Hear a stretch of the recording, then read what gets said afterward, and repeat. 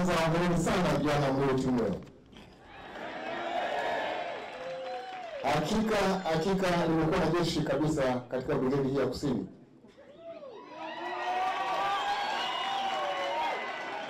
Mko tayari kuitwa wakati wowote? Tutawafuata huko vioni mje. Lakini pamoja na salamu hizo, nina ujumbe kama mbili kwenu. Ujumbe wa kwanza, na mgeni Hashim, na- naomba uniruhusu wa utamke wenyewe ili hakikishe kwamba nikiwahitaji basi kwenye majukumu waweze kufika. Naomba unisikilize vizuri. Utarudia nitakayosema, sawa eh? Hiki si kiapo, lakini ni maana nataka kudhibitisha kwamba nikiwahitaji basi mje.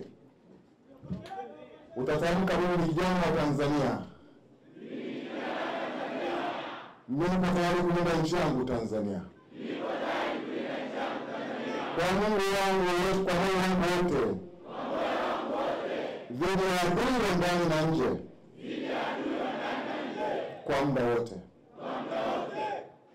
Hicho ni kiapo cha kudumu, komanda, eh? Umeelewa? Wewe utahitaji muda wote,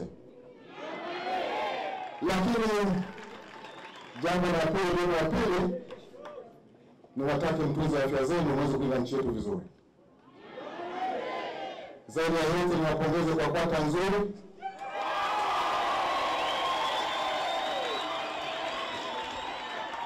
Hakika mmeiva.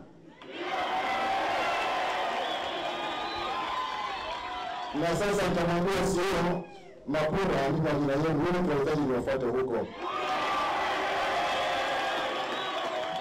Asanteni kwa kunisikiliza.